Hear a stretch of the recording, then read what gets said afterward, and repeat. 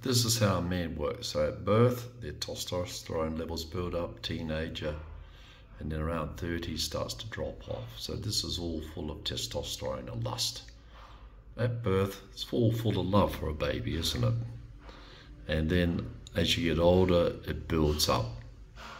So putting these two together, the testosterone and the love, you go to about here, and then hopefully it all levels off as you get older. So testosterone going up and down, love, value, and life, family as high, dropping down, and then building up again, all coming down to an even keel as you get older.